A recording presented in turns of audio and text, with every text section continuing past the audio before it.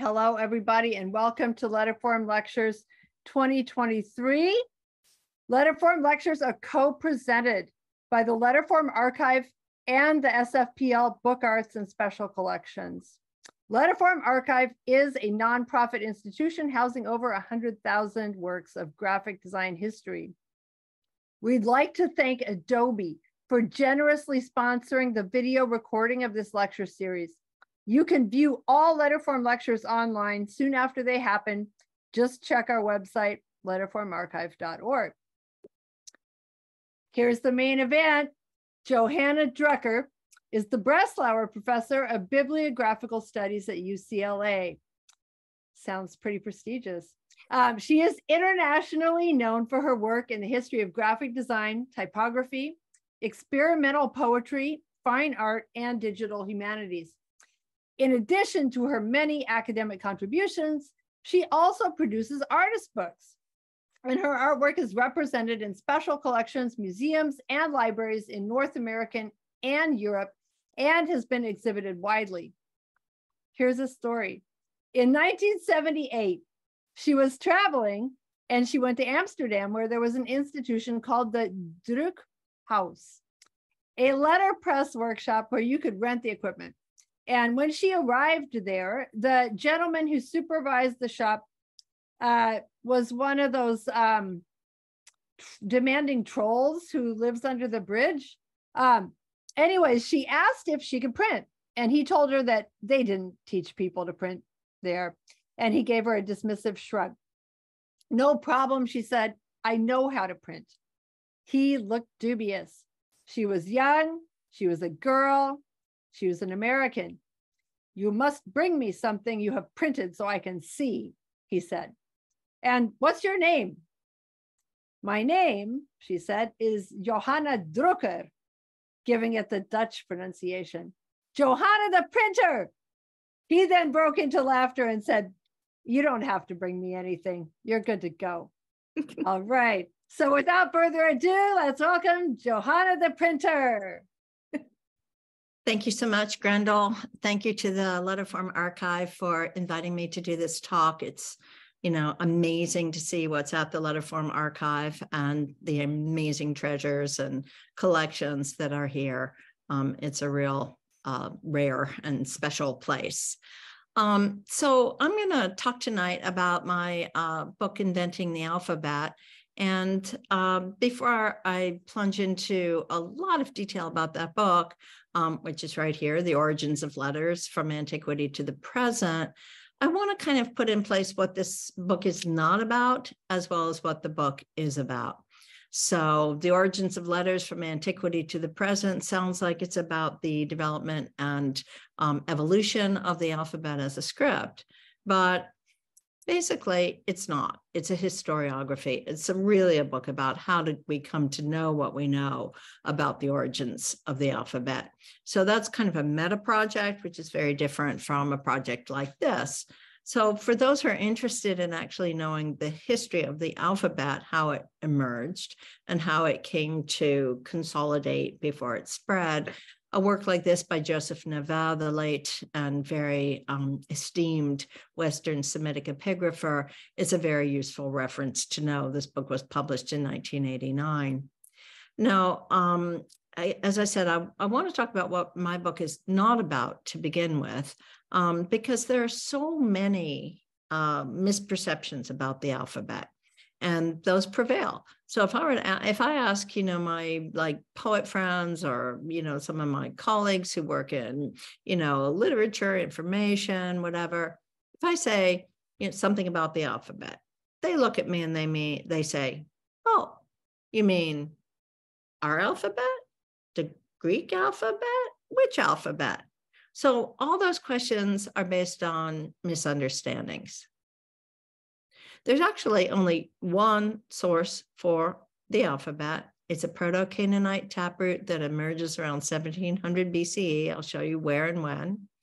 And the Greek alphabet is a late development, comes into being sometime around the eighth century BCE, so almost a thousand years later. And our alphabet is actually based on Roman letter forms, not on the Greek alphabet Greek forms. But the point is that all of these things have one single point of origin, and that is in the ancient Near East. Now we're familiar with the letters. We, we, we know them, we recognize them, we're, you know, we're schooled in them from the time that we're children, but we don't always know where they came from. And again, that's part of this little prelude here. What is the actual history of the alphabet's emergence and evolution? So we see these forms, these little, you know, child's, you know, exercise forms, and then we see this. And again, this is kind of familiar. You know, we we're used to seeing this little A over here that looks kind of like an ox head aleph and the bath and the oh, these are Hebrew names. Oh, for the letters. And oh, what does this look like? And Heth is a gate and so forth. But if you look below the image, you will see that this alphabet is attributed to the Phoenicians. Now, the Phoenicians the term is anachronistic. The Phoenicians themselves never called themselves the Phoenicians. They were a coastal people and they identified um, themselves according to their towns. So they're, they're in, in Tyre, in Sidon, and so forth. They're Sidonians, Tyronians. Um, and that's important because the concept of the Phoenicians is something that comes into play within this alphabet historiography. But anyway, this kind of a chart um, shows an alphabet that we gets attributed to the Phoenicians. And the reason for that is because they are the people who spread the alphabet around the Mediterranean. They are sailors, they are traders, they are intrepid people of the boat, right? And uh, we'll see exactly where that where they go um, in just a second. So this is the um, Fertile Crescent. This is the area in which human civilization emerged into cities, into agriculture, um, where hard grains were first cultivated. So it's a very important area for all of human culture. It's you know, um, uh, it is the kind of formation of uh, whole sets of of you know modern human um, behavior patterns and social patterns. And it was occupied initially by the Sumerians who came in here at the lower sea in the Persian Gulf. And the Sumerians had kind of pictographic cuneiform language. In other words, they used clay and they made pictographs, um, but they spoke a language that's never been fully deciphered and it's not even clear where the Sumerians came from. Um, they were dark haired. They had, you know, sort of a whole kind of their language is not related to other um, languages that are well known. But in this whole area here of the Tigris, um, Tigris and Euphrates River valleys, um, it, it, advanced cultures start to develop. And I call them advanced only in the sense that this is where cities, storage, uh, food surplus, and administrative systems um, emerged for the first time that we know of in human culture. And that's sometime about 10,000 years ago, about 8,000 BCE. So in this area, the cuneiform uh, script um, emerges with its languages of Assyrian and uh, Babylonian and so forth. And all of the languages in this region, in this Fertile Crescent, are part of a large Afro Asiatic language group. And so the um, that means that in North Africa here, the African side of the Afro-Asiatic group prevails. But throughout this coastal region and around into the Tigris and Euphrates River uh, valleys, because um, this Arabia is like mainly desert. Okay, so throughout that region, um, the Semitic language groups of the Afro-Asiatic languages prevail. So these groups are united um, culturally and linguistically. And what we're going to see is that the alphabet is going to emerge in a relationship between cuneiform script to the north and hieroglyphics that emerge in Egypt to the south. Hieroglyphics emerge around 2700 BCE. They don't seem to have a kind of um, you know, like baby step stage. They just kind of like really the Narmer palette, you know, is suddenly this um, artifact with fully developed hieroglyphics on it. Now, hieroglyphics are complicated in terms of how they represent language um, and ideas. Cuneiform initially is used, as Denise Schmandt-Besserat's work shows, to represent quantities and entities, to be an accounting device, um, first with tokens and then with tablets. Um, and then again, that's about, you know, seven, 6,000 BCE. By 2700 BCE, cuneiform has become a script that represents language. So that's important. And the same is to some extent true for hieroglyphics but it represents language as ideas, as thoughts, as words, and so forth. What happens with the alphabet is that the alphabet emerges here in Canaan. And what distinguishes the alphabet, and this is really crucial, is that the alphabet is based on the analysis of the sounds of the Semitic language. So think about this. Okay, think about this for a minute. All right you have a native language, right? You have a language that you speak all the time that you're familiar with. If I said to you, I'm going to put you in a room, I'm going to ask you to figure out what are the basic sounds that are distinct in your language. And when you finish figuring that out, I'll let you out. How long do you think you'd be in that room? So the fact that the alphabet is based on the analysis of the significant sounds of the Semitic language, these Semitic languages, is an incredible intellectual leap. And it allows the alphabet to be a very small set of signs. It's actually 17, 18 signs when it emerges here, and to be incredibly efficient and adaptable. Other signs can be added if there's a sound that's not in the Semitic language. That's what happens with the Greeks. Anyway, so this is the site of emergence. That is the distinctive feature of the alphabet, but it's made in a cultural exchange between the cuneiform scripts to the north and the hieroglyphic forms to the south. And exactly where and when and how that evolution takes place is what people like Joseph Naveh look like look at in great detail. Once the alphabet is consolidated and becomes a kind of stable set of signs, as we saw in that slide after the little ABCs, and we see that Phoenician script. Once it becomes stabilized, you see here's Byblos, one of the um, uh, cities on the coast of the Levant that later gets called Phoenician. Byblos, Tyre, Sidon are the major cities. Once it's established, it spreads. And one of the places it spreads is into Greece, it goes by land, it goes by sea. Um, now, the Greeks had been literate before this. There was a Mycenaean civilization in Crete and in Greece, uh, linear A, linear B, uh, Cypriot syllabaries. Cyprus is a really crucial um, uh, sort of uh, location in the trade routes. So there had been a Mycenaean civilization that was literate.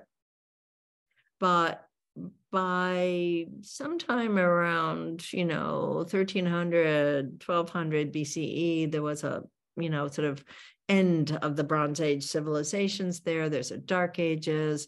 Literacy disappears. So there's a period of about 400 years in which there is not a literate culture in Greece. And when the alphabet arrives again into the well, when it arrives into the Greek islands, because these scripts that were down here on um, Crete and in the you know uh, southern part of Greece were not alphabetic. Again, they were syllabaries and and uh, hieroglyphic, you know, uh, pic, uh, pictographic systems. The alphabet arrives again, and it's as though there has is no memory of literacy. But the alphabet doesn't only spread to Greece and Asia Minor, the whole coast of Turkey is incredibly important. This area up in, you know, along the edge of the Mediterranean, modern day Syria, the Sinai, North Africa, these are all areas that are, you know, part of trade routes where the alphabet spreads just to put this again into another perspective, and then I'm going to shift gears and look at what my book is really focused on, though all of this knowledge shows up in the figures that I deal with um, in the in the book. But just to put this into a kind of tree structure to give you a sense of how the alphabet as a single taproot proliferates and specializes, here's a chart. Notice the timeline on the bottom. So sometime around 1700, 1600, Proto-Canaanite, the taproot consolidates. By consolidates, I mean it takes a form that does not deviate and modifies, but doesn't deviate. The sequence of the letters, the names of the letters, and the sounds assigned to them remain stable. And that is true through all of these modifications. Now, letters will be added here and there. The Greeks add a few letters because they need vowels to be explicit. Um, you know, uh, Armenians add a few letters. And, you know, Old English has a thorn and a yod. And, you know, stuff gets added to make the, the relationship between the letters and the sounds more accurate. But essentially, what you see here is here's Proto Canaanite, the taproot it goes down into South Semitic, so it goes down into the whole sort of Ethiopic, um, you know, domain. We see ancient Greek, which becomes, you know, Roman, Etruscan, Coptic, which is Egyptian, Armenian, modern Greek, all these things. But look at the dates on this. This is happening in the Common Era, right? We're already into the Common Era when these things are happening. Arabic occurs only a couple hundred years before the Common Era, as does New Hebrew. Old Hebrew, and we'll touch on that in a second, Paleo Hebrew emerges, mm, but this is actually an inaccurate aspect of this chart because Paleo Hebrew is back here with Proto Canaanite, um, and then Samaritan, on which we will touch again.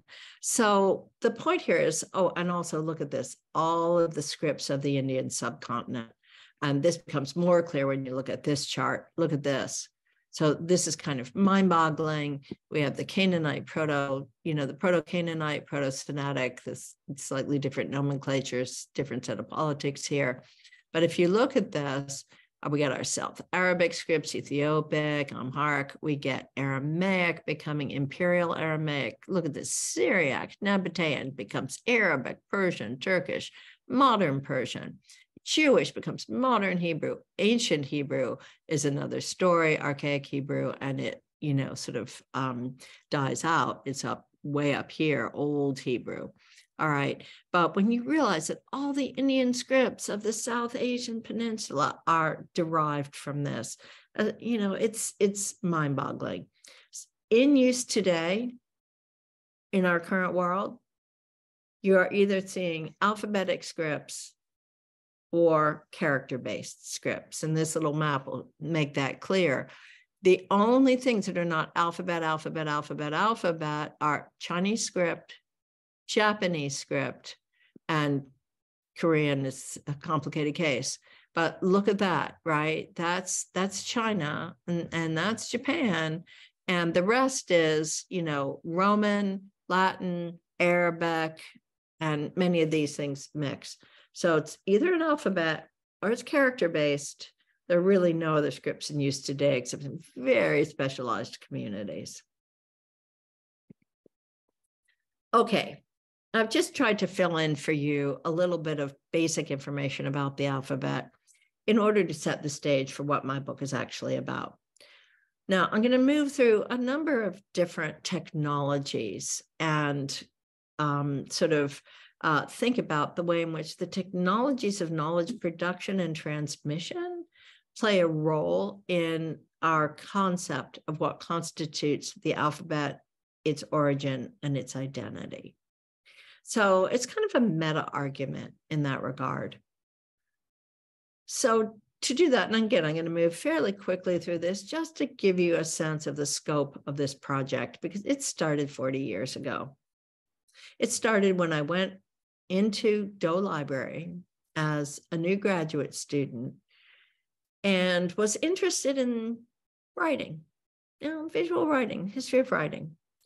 And I come across this. Now, maybe this is totally legible to you. Like maybe you just like know immediately that Franciscus Mercurius van Helmont, son of an alchemist, you know, friend of Leibniz, is doing something totally rational and sensible in 1667 with his Alphabeti Vere Naturalis. What did I know? I open this up. These are engraved plates. I look at this thing. I'm like, what? What am I looking at? Right? What is this? You know, why is this guy's head sliced open? Why is he wearing this crown with weird letters on it? What are those numbers doing under the letter forms? What are these things down below? So 1667 is a period when there's all this philosophical language stuff going on. Is there a natural language?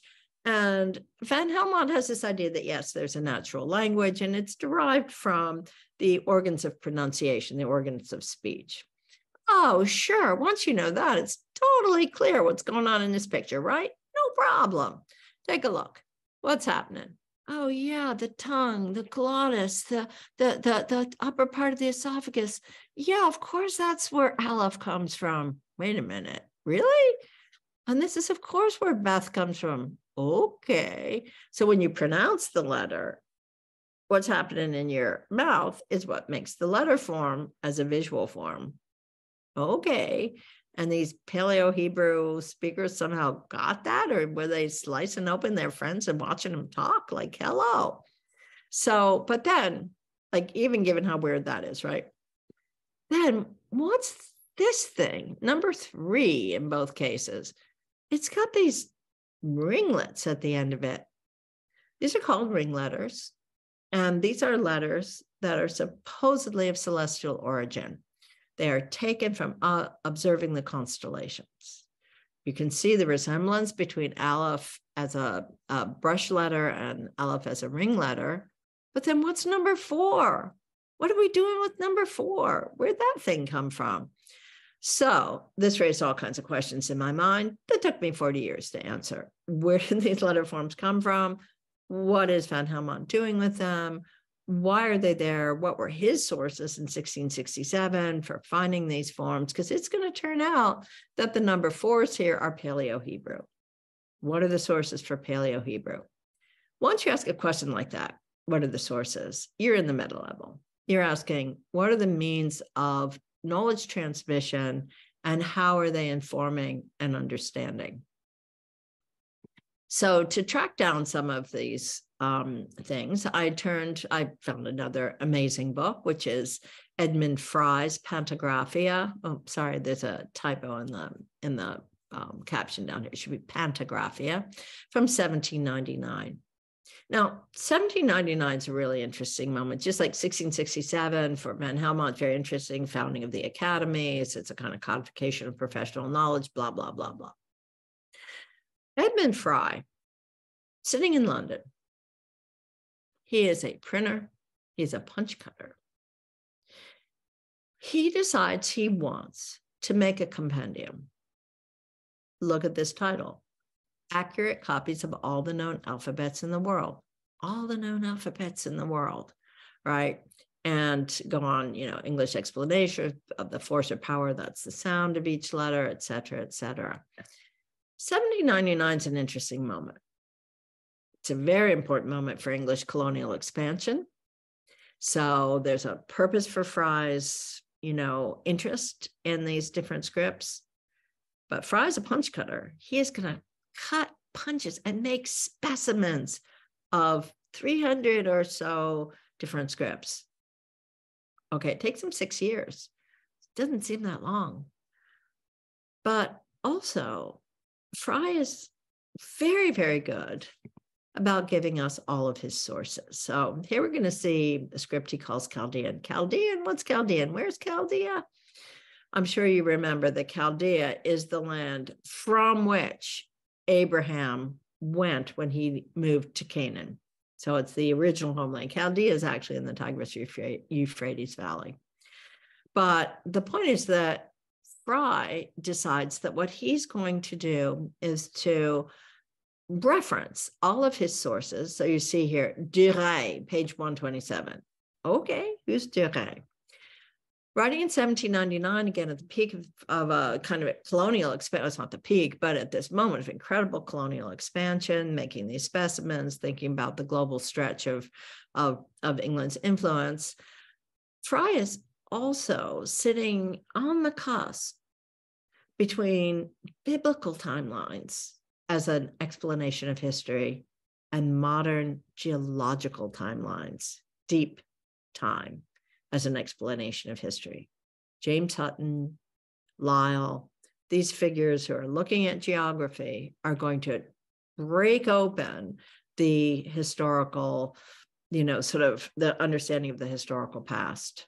So everything that Fry's collecting in 1799 makes a snapshot of the understanding of history in this period because Fry's got no modern history in his citations. So that's also really, really interesting because starting in the early 19th century, the world's going to change in terms of alphabet history. So let's look again at Fry. So we have these Chaldeans, Chaldeans, they're from the ancient Near East. Oh, that's interesting. Um, and uh, I won't go into the details here, except to say that this letter form, come back to this in just a second, is supposedly the same that Seth, remember Seth, son of Adam, engraved upon the two columns. You're supposed to know what they are mentioned in chapter four of the first book of Josephus. Josephus, you remember Josephus, the first century Jewish Roman historian. So these are references that are in common play in the period in which Fry is writing and in which Duret was writing. Chaldean number three, another of the scripts that Fry collected. Now, a lot of Fry scripts are perfectly straightforward Greeks and Armenian and Cyrillic and so forth. But it was the Chaldeans that fascinated me because I wondered what was their source? Where'd they come from? What do they tell us about alphabet historiography? So, Chaldean number three, as you see here, is also said to have been used by Adam. Now, this is going to make a mess in a minute because how could Adam have the alphabet when, as we know, it's Moses who goes up on Mount Sinai, brings down the tablets. The Decalogue contains every letter of the alphabet. Supposedly, that's a moment when God is giving writing to Moses. Oh man, this is a mess, right? But so here we are. Uh, notice the sources here Spanheim Dysart, page 80, and Dr. Morton's tables. I decided I was going to track every single reference in Fry, and I did. But I will tell you, it took me a long time. What is Spanheim Dysart? And well, it turns out to be Dissertatio of Spanheim. And Dr. Morton, do you know how many Dr. Mortons there are in English, like reference sources? So figuring this out took a whole mess of time.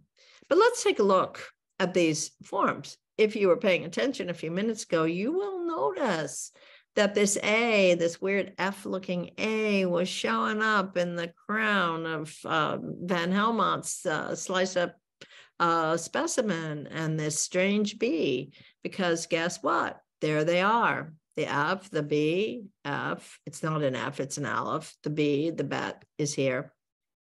These are Paleo Hebrew. These are actually Paleo Hebrew forms. These are some of the earliest forms that the alphabetic letters take. So Fry is getting these from Duret. He's getting them from Morton. He's getting them from Spanheim. Where are they getting them from? What is the history of transmission of these forms? Big question. Okay, enough introduction. And um, I'm going to move now into a few short kind of vignettes to address the issue of forms of knowledge transmission in alphabet historiography. So just touching on each of these, because if Fry could absorb all of this information, reproduce these images across this long lineage, you know, what lies behind that? The earliest text that we have that says anything about the alphabet and its origins, and we have alphabet evidence now, much older, but the earliest text is that of Herodotus, 440 BCE. Now, this is Nestor's cup from the 8th century BCE, but Herodotus in 440 BCE describes the arrival of the alphabet into Greece from the East. Now, this kind of a, a inscription, which you see is fairly um, well developed, but still has some of the features of the Paleo Hebrew and phonetic that we saw earlier, um, is going to be inventoried again in mid-century. Uh, every piece of the archaic Greek inscriptions gets inventoried by a fantastic scholar named Lilian Jeffery. Jeffery will cite Herodotus in order to authenticate her theses and her findings because she's interested in how to correlate Herodotus's account with the physical evidence that has come to light in you know the last several hundred years at that point So Herodotus says Cadmus brought us the alphabet into Greece. And Cadmus came from the east, and um, the Phoenician alphabet, he doesn't call it Phoenician, but the alphabet that Cadmus brings doesn't work for the Greek language. We had to add a few letters. We needed vowels to be explicit. Palamedes gave us a few letters, and so did somebody else. So Herodotus is clear on this. Herodotus' text is transmitted across, you know, basically 2,400 years. It still shows up, but it's a text. It's a stable text. It's, you know, regularly cited without too much corruption, but it's a text. What Herodotus doesn't do in the fourth century and can't really do is to instantiate what he's seeing in an image. We do not know what script he actually was looking at. And that's why looking at these early things through the eyes of Lilian Jeffery, the archaic scripts, scripts of ancient Greece, is so important because she's trying to figure out what Herodotus was looking at. What were the letter forms? So a text can do certain things, but it does not instantiate the exemplars. Now, this is crucial. And the study of the, you know, again, the, all of the forms of letters that circulated around Greece in the period of its dissemination through Phoenician traders, again, Phoenician traders, um, is an object of incredible study and, and fascination. But you can see that there are variants in these letter forms. And is that because they're local? Is that because the scribe wasn't skilled? Is that because, you know what? So all this is evidence to be sorted out. But that's this is a 20th century image. Another text that is crucial is the text in Genesis, right? Hebrew tradition, rabbinic tradition. And in that tradition, we have Moses here beautifully depicted by Gustave Doré, who, who better to show biblical tales except Cecil B. DeMille, right? So here's Doré. And here's Moses, furious at his people for worshiping the golden calf while he's up on Mount Sinai. And he's come down with the tablets. He's got the tablets and he's about to break them. The tablets, as I said, are the Decalogue, the you know, 10 commandments. They contain every letter of the Hebrew alphabet. Huh. But if God just gave Moses writing, how could Moses deal with the Decalogue? How could he write if he couldn't read? He might be able to read without being able to write. Where did these tablets come from? How's writing come to the Jews? So the idea that Moses has gotten the alphabet and writing at the moment that he gets the Decalogue saturates debates. And the question of Moses's literacy is a hard one to resolve. Even more, what were the letter forms? Is this Paleo Hebrew? He sure wasn't using Phoenician, was he? He wasn't a Phoenician. Okay, so the quest to find the oldest and holiest alphabet is driven by this biblical story that Moses is the person who brings writing and it comes directly from, yeah, up there. Okay. So, you know, it's the holiest alphabet, it's divine. We must recover it. Guess what? The tablets can't be found.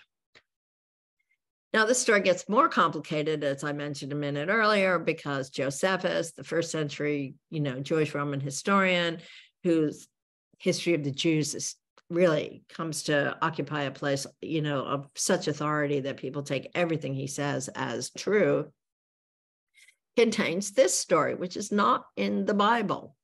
Now, the guy who's dying and doesn't look too good is Adam. And this is Adam's son Seth in, you know, time lapse here. And Adam is saying to Seth, you got to go write everything that we have learned on these two pillars, one of brick and one of stone, in case there's a flood, in case there's a fire. And that's your job. But wait a minute, Adam, isn't he like the first man? Where did he get writing from? What is Seth doing on these pillars? How can there be writing? it can't be before Moses gets the alphabet from God. So you see how complicated this gets.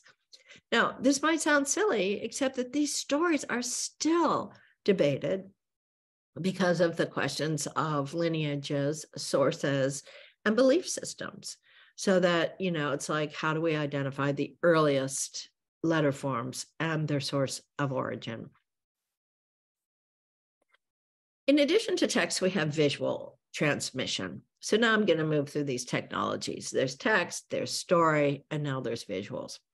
The visuals that really manage a very long lineage of knowledge transmission are exemplars, specimens. Here you see a Greek alphabet represented in the middle of a page of the um, Etymologia from the 8th century. Fine. Greek is around. People know what Greek is. It's being used. It's still, you know, part of a living language. So you can extract the alphabet from that. But how about when you have an alphabet that has, or a script, there's only one alphabet, these script forms. What happens when you have a script form that has no relationship to a living language? It's never used for a text, that's never instantiated in any way except as a specimen. so here on the left, you see the large image. Here on the right, you see a detail from a 12th century manuscript that's uh, now stored at Oxford and St. John's College. Now, this uh, script here on the right, with its names Alamon, Bek, Kata, Katu, this is an alphabet attributed to a figure named Aethicus Ister, an eighth from an eighth century manuscript called the Cosmographia. Ister traveler goes to the east and he has conversations with St. Jerome and he is authenticated in part by having this script that he brings back from the East. Now, this script is here in this um, manuscript that was made in the British Isles. And it's very specific. Look at it. It shows up in the family and the company, as we say, of runic scripts that are also being transmitted. Now, runic scripts have their own origins and history and so forth. And the great René Derolez, who inventoried every extant manuscript containing runic scripts, is the source to go to if you're interested in this. But here's this Ister alphabet. And guess what? The Ister alphabet also shows up here in a German manuscript, manuscript produced in the you know regions of Germany um, in the first half of the 12th century. And you can't see this very well, but here, down here, the Alamam, the Becca, and so forth. I'll just quickly switch back. Look at that strange winged shape B and these, you know, Q's and, and so forth, uh, Q-ish looking things. And there they are, right? How does this happen? This is not a script you can take from text. It's a script you have to see and copy in order for it to pass on. And it circulates all over Europe. What are the exemplars? What are the sources? Right? How is this possible without a visual? No amount of my describing to you how to draw the Aethicus Ister alphabet is going to get an accurate reproduction. You have to have a visual exemplar in front of you. It ends up here in print again among um, other runic uh, uh, among runic alphabets and so forth. So the aethicus ister alphabet is a kind of you know interesting example of things that circulated as visuals copied and preserved as specimens. So that's a whole special category of mythic i call it a mythic script because it's associated with um, ister who's a mythic figure but there are also cosmic and magical alphabets that get transmitted in similar ways. One of which is this celestial alphabet, which you also saw in Mercurius van Helmont. That was the, um, you know, they call them Brillen, uh, Brillenstaub. It's like the, they've got these little uh, ring letters. And they're ring letters because the ring is actually a star. So here's a 1538, um, you know, study of the heavens. Uh, Postel is a Kabbalist, and Postel's also a serious student, as you see here on the right, of Eastern languages. And he has put together here a compendium of 12 um, scripts that are exotic, exotic um, scripts, including Arabic and Samaritan and Syriac and so forth. So here, but the notion that the letters are derived from the stars allows them to really be divine. If this is God's writing, right, it is reflecting the constellations. It is truly the book of nature um, and the letter forms. Now, Postel's work is copied by all kinds of people. You can see here, um, down here from uh, somebody named Gaffarel in 1637. He copies it and the whole chart. Um, in 1533, Agrippa, um, you know, has his version of the um, uh, you know, the, these, um, you know, celestial uh, texts. And Agrippa's work is translated into multiple languages and circulates everywhere. And by the time we get to my friend Edmund Fry in 1799, he is copying from Gaffarel, who copied from Postel, and we see those letter forms again. So again, these are copied and passed on.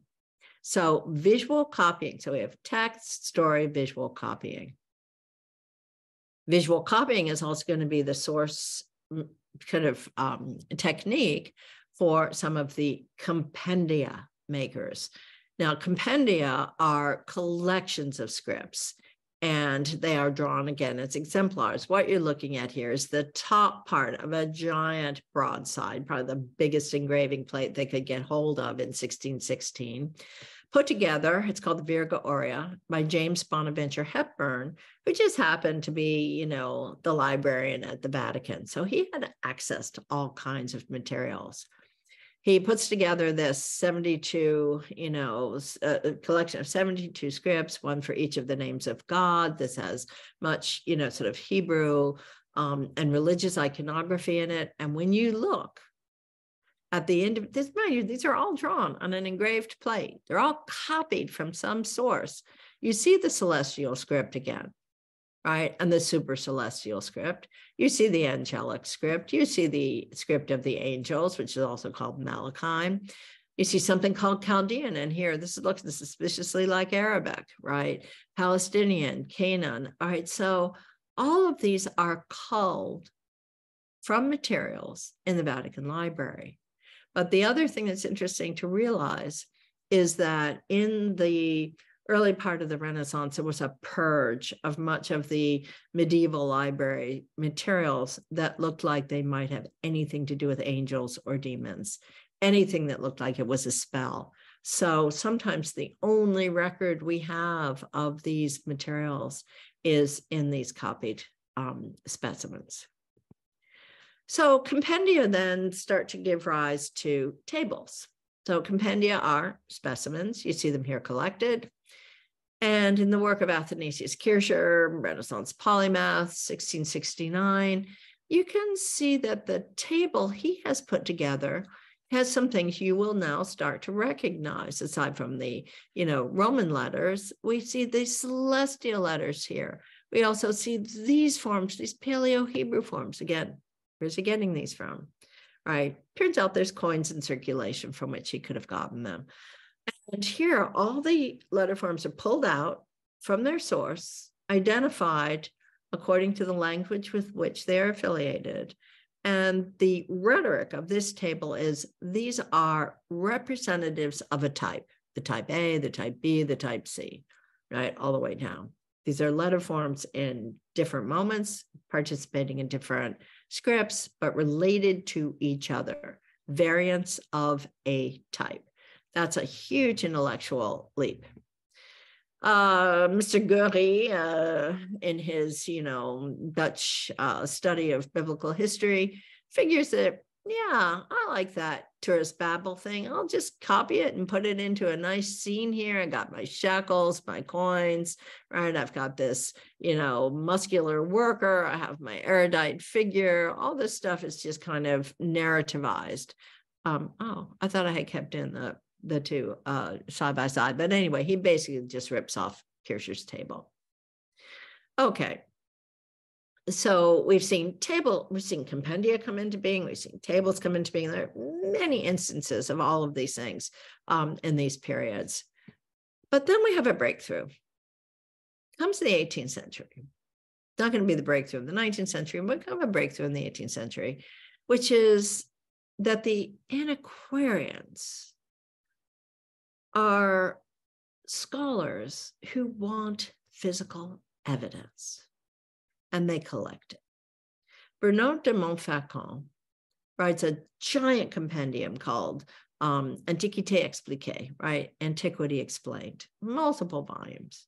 Bernard de Montfaucon prefaces his exploration of antiquity, it's the early 18th century, by saying there must be evidence of the Bible, of biblical history. It has to exist, and yet we can't find it. Montfaucon is extremely eloquent on the topic of why physical evidence gives you something that text, compendia, lineages of story do not give you. He wants the things in front of him. He is in a position to use his networks and go to every single antiquarian collector he can find, examine what's in their cabinets, draw and reproduce it, and to keep searching for materials from biblical history. At the bottom here, these sad little coins, these little bits of coin, are about all that he can find. There are no monuments, and there won't be any monuments, right? All we have are some coins. 1728, Edmund Chishull, another important antiquarian, looking at what is the physical evidence, finds these coins. These coins are not that old, right? They're like from the Maccabean period, Roman up, you know, uprising of the Jews against the, the Romans, uh, maybe a little tiny bit earlier, but they are not ancient. They're not ancient enough to really provide evidence of ancient biblical history. And yet, from this, um, Chishull can pull out another table to make comparisons between, you know, ancient Hebrew, Phoenician, Latin, and so on, and modern Hebrew, and so forth. So, this quest for evidence is going to only be answered in the 19th century. The whole 18th century, again, the biblical timeline's intact. There's no significant physical evidence of early alphabet origins. This item, the Eshmunazar sarcophagus, is discovered in 1855 near Sidon, one of the cities on the Levant that gets lumped into Phoenicia. This is an artifact from about the 6th century BCE. It's a basalt sarcophagus and it is carved it is found by a Frenchman who's on duty there. He's out, you know, he's part of the consulate. He's out, you know, amusing himself and looking for treasures. You know, it's one of those stories. He sees, you know, a kind of hole in the ground. He, you know, sends somebody down and he doesn't find gold. But what he finds is this it's a tomb. Look at this inscription. Just look at this. This is like so beautiful, so perfectly made. So, sophisticatedly elegant in its skill and its competence that it shows that this is an inscription by someone who is you know skilled in this. More important the um, inscription contains a text that has historical references tells us who Eshmunazar is how his father you know his relationship to his father cites various historical events and the language the strata in which this is found the location in which it was found and the text allow it to be dated with precision to this period. Now, the sixth century is not so very, very early. It's not as old as Paleo Hebrew. This is a well developed Phoenician script. But the point is, it's the first artifact ever found in the original homeland in which it was made that also has specific historical correlations. Unlike the coins that circulated all over, this is found intact in its original site.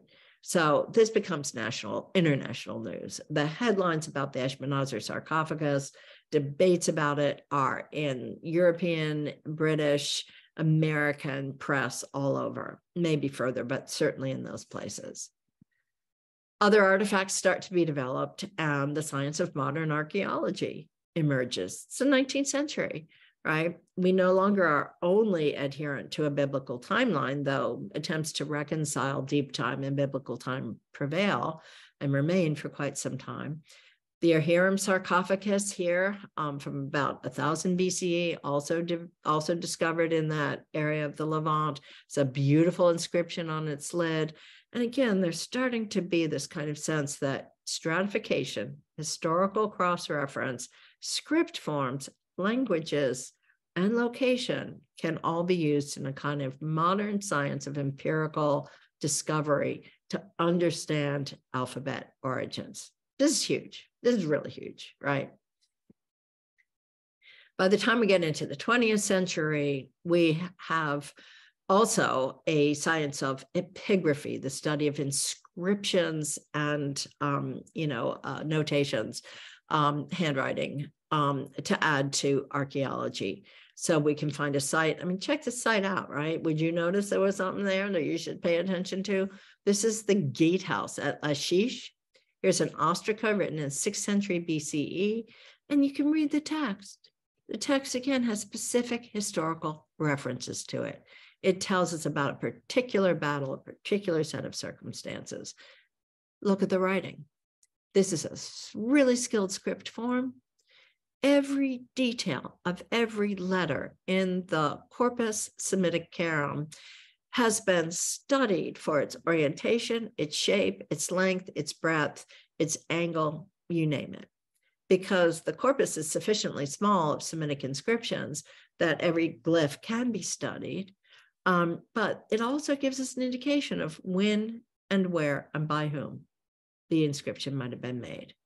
By contrast to the, you know, um, uh, Semitic inscription corpus, which is, you know, several thousand items, the um, cuneiform um, corpus is hundreds of thousands. Like everybody's got cuneiform tablets. There were lots and lots and lots of them, um, and they proliferated widely. But what's important to remember, and I'll say this and then I'm going to wrap up here in a minute or so. What's important to remember is the alphabet was invented by Semitic nomadic tribes, small communities. They were not particularly stable in their location, and they did not build large, you know, sort of, um, you know, settlements that were permanent, and they did not build monuments.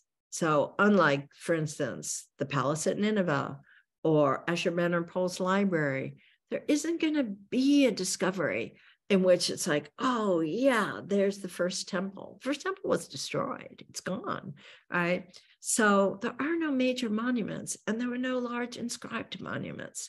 So, the alphabet, you know, emerges as a kind of writing system of you know bits of history bits of you know uh, daily business this that the other thing and only gradually comes to you know be part of a, a, a bigger cultural and tribal a scribal tradition.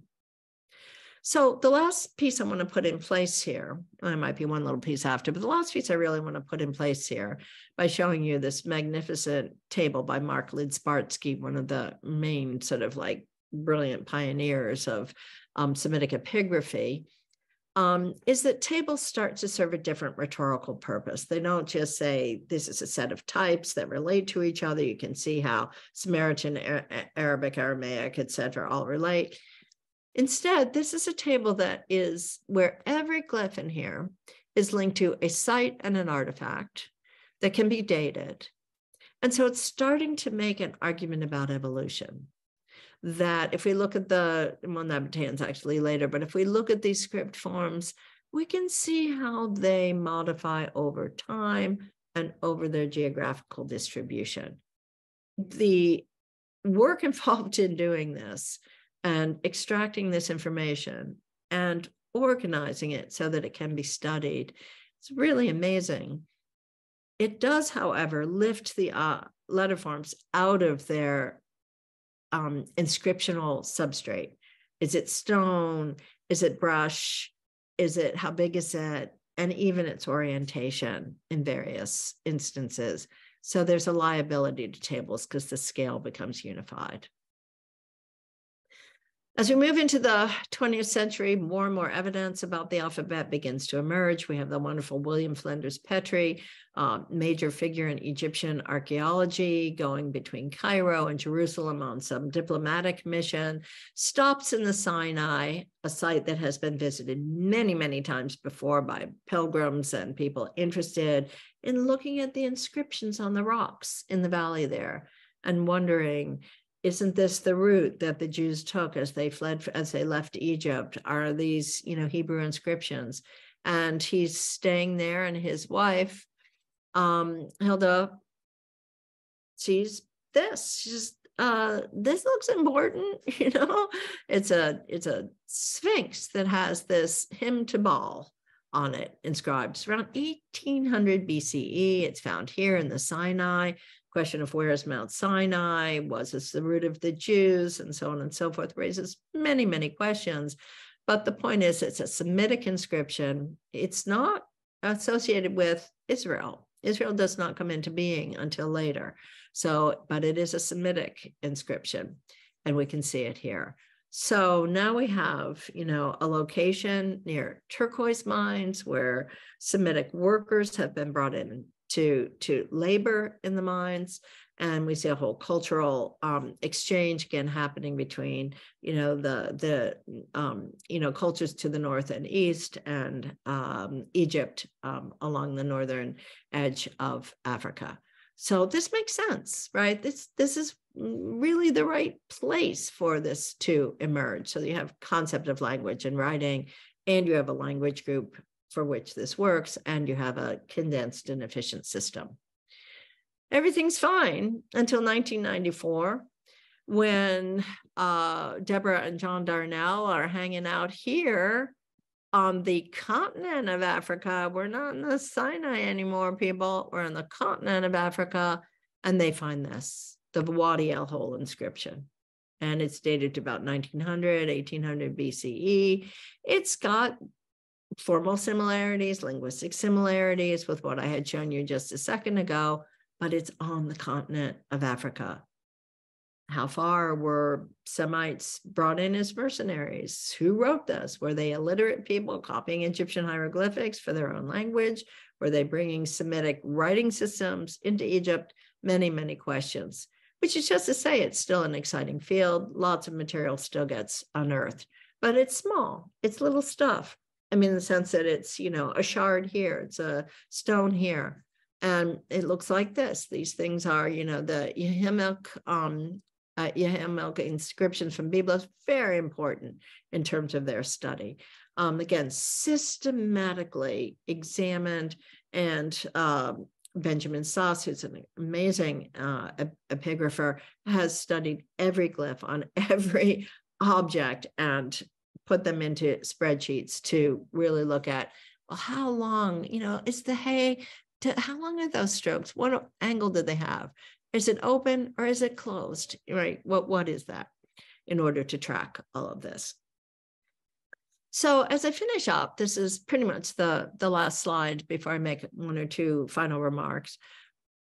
One of the things that's interesting here is there's a whole politics to the historiography of the alphabet and much of the kind of classical um, sort of um, research and scholarship that occurred that emerged in the 20th century tended to erase the Semitic origins. So turning the Greek alphabet into something superior that was the basis of Western culture and civilization um, meant that the Semitic origins in the ancient Near East could be set aside. It's not that important, not that significant. And obviously there's a kind of racial and racist and, you know, aspect to all of that. But what's remarkable is that the alphabet, which was invented by Semitic speakers in the ancient Near East almost 4,000 years ago, undergirds the internet, alphanumeric notation. Yes, there are also, you know, the numerals and the, the, the numbers and the and the zero and so forth. But alphanumeric notation is crucial to internet communication and, and uh, digital communication. A debate currently rages in the Unicode community. Well, I don't know if it rages, but there's a debate in the in the Unicode community. And for those of you a little bit unfamiliar with Unicode, keep in mind it's a you know it's a set of um, sort of positions or places um, for a script form that say how many boxes would I need to represent Cyrillic? How many boxes would I need to represent Hebrew? And these are different, right? They have different numbers of characters, they have different sounds associated with them, and different relationship to each other within the total sum of the script. So having a unique identity in Unicode, um, and mind you, the Hebrew letters or the Cyrillic letters that get called by the Unicode code can come from a huge inventory, huge library of different forms. So, you know, if you want to have bold or sans serif or decorative letter, that's part of the library inventory. The point is that the number of categories you need to represent a script is what gives you your identity as a script. So currently there's a debate about whether or not Phoenician and Paleo Hebrew should be represented by the same Unicode. Are they the same script? In other words, is their actual identity to be collapsed? And that question is, uh, is ongoing. In finishing, the very last thing I want to say about this, and I thank you for your time and your patience, is what's the takeaway here?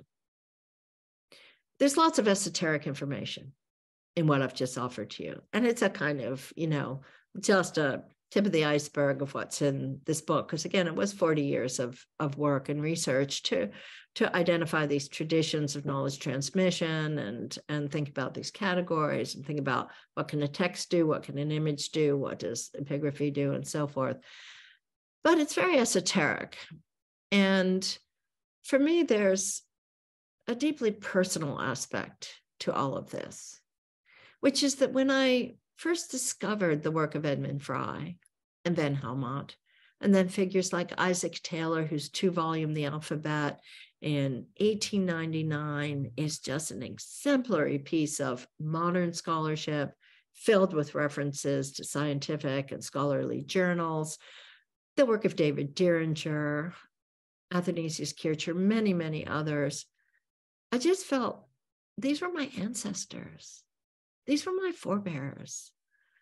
I felt like I had a, a role, a really important job to do to be sure that this lineage of transmissions, this cultural history, would not be lost, that these names would at least be registered for future generations to discover, that somebody would care about Teseo Ambrogio, Angelo Rocca, James Bonaventure Hepburn, and care to see them on their own terms, not as figures who were deluded, who were wrong because of their historical moment, but whose historical explanation of alphabet history was complete in its moment, so that I could, on the one hand, respect the cultural otherness of the past, but also bring forward this tradition for a next generation to be able to find, reference, and explore.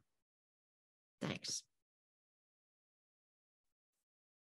Thank you. Um, and I'm happy to entertain a few questions. And also, I don't want to linger too long on the question because I would like you to be able to look at books and look at books, mm-hmm. since Rob was kind enough to draw out a number of absolute treasures. Thomas Astle, Edmund Fry, I mean, these are these are great great figures. Yes. So like the um, Steinletters, plus cluster letters, and all those other kind of exemplar alphabets that everybody showed but nobody did anything with. What are you? Why would? Well, there, yeah. Why? Well, I think it's just um, you know, it's uh, it's cultural knowledge, right? Mm-hmm. So to know that, to pass it on there are a few of those celestial things that are used in spells, mm-hmm. as you can imagine. And there's even some third, fourth century um, bowls that um, were found at Nineveh, um, you know, in, in, the early excavations that looked like predecessors for those um, alphabet forms. So they do have a kind of magical quality. They will sometimes be put into, um, you know, metals and other kind of magic script things, but not not the um, not the exotic alphabets. So I think a sister's alphabet that's never used for anything, right? It's it's preserved and, and so forth. Runes are used in various ways, right? So again, each of these things have their each one has its own kind of profile in terms of transmission and use. Um, but yeah, there's not, you cannot find a book written celestial script. Now, you know, since I said that, some little clever person is getting a chat GPT to do it right now. you know, so Peter Rabbit for, you know, baby Kabbalists. That'll be cute. Um, but yeah. So um, anyway, so again, it was belief in their in their potency and their value. Um, and, and also as an explanation of the forms as having a common origin. So those are all pretty big justifications when you think about it that way. Yeah. Uh, any other questions? Yes. Any discussion about uh, writing left to right and right to left? Oh, yes, definitely. And again, with people like um, Lidzbarski and those submitted, you know, the epigraphers, the orientation of the letters is always an aspect of where they were done and what their age is and so forth. So yes, it's it's a crucial feature for dating and for identification. Absolutely. Um, and as you know, the Greeks had you know left to right, right to left, and this boustrophedon that would follow either way. Um, but the Hebrew is largely right to left. Um, so, but not entirely. And there's also in the early days, like the Wadi al Hol inscription, you notice it kind of follows yeah. up, it rises up. And so there'll be, even be things that are kind of more of a spatial field and not fully organized in a linear way. So again, these are crucial elements for analysis. Absolutely. Yeah, it's an important element.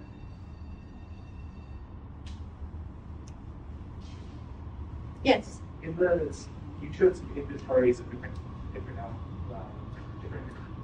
I wonder what the word Scripts, yeah. Scripts, thank you. Um, how did the folks uh, years ago select which things went into which bin? Presumably these things were changing over time, and, and there would be some amount of variation within them. Mm-hmm. How did they select? Sure, sure. How did they select the all have those sort of design separate?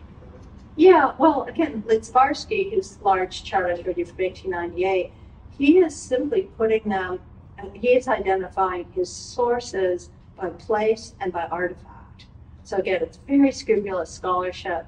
And then, um, you know, the question of which line A, B, C, D, E, those things belong in is pretty evident, right? And again, part of the principle of epigraphy um, and paleography is that you kind of figure out the ones that you know, and then you start to sort the ones that are dubious. And you know, so so sometimes there's questions, and there are forms. There are particular letters that have more mutability, in terms of where how they look in different locations, and others that are more standard.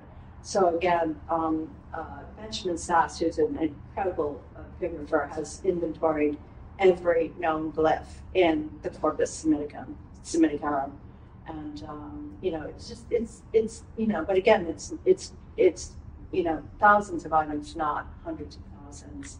Um, and again, it's it's precious in terms of trying to sort out exactly where in the Levant and the ancient Near East these different modifications occurred.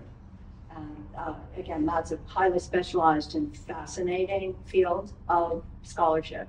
So, um, you know, the, again, I can point you to sources that are listed. You know, the, the, and the last thing I'll say, because I think we should break up and look at some of these amazing books, um, is that uh, if I were to say, what's the canon? in alphabet studies of primary works like Fry or Van Helmont or Rabanus, Maurus, and so forth is probably about 200 items. Right? And they copy each other, and you can track these lineages, and then you see these moments of rupture when, you know, suddenly in the 19th century, nobody is going to cite Gaffarel anymore. Nobody is going to cite, you know. Uh, so you, you, can you can see these things really as intellectual, you know, as epistemes really shifting and changing.